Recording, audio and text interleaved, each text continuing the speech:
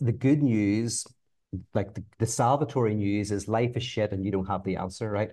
The bad news is that there is wholeness and completeness. There is an answer. That's actually that sounds like good news, but it's bad news. And what sounds like bad news is good news. Obviously, very dialectic, um, annoyingly dialectic. But um, is that the more that we uh, postulate a wholeness and a completeness and a God who is undivided, um, the more I think anxious we become, the more symptoms, damaging symptoms can arise. And the more we realize that in Lacanian terms, the sinthome, there is a fundamental contradiction at the heart of reality. Um, this frees us from the frenetic pursuit of wholeness and completeness. So I'm almost saying that the pursuit of, of the religious pursuit of wholeness and completeness is actually what is profoundly damaging to us.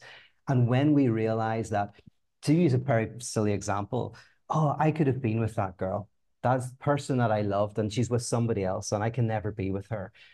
Um, I still have a fantasy in my head that we could have been together. I have a fantasy of what it could have been like. So in the actual world, I accept that she's with somebody else. But in to use analytic philosophy, in possible worlds, there's possible worlds where we're together and life is wonderful.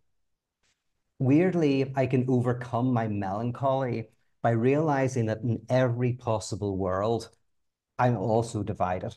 Mm-hmm. Oh, yes, we ended up getting married. And so all of the hot sex just became really boring. And we had to start fighting about who would take out the trash. Right. And then we realized we, we learned things about each other that I wish I didn't know. And I was, you know, whatever it is, that all these possible worlds, some of them are better and some of them are worse. Absolutely. They're not all the same, but none of them are without division.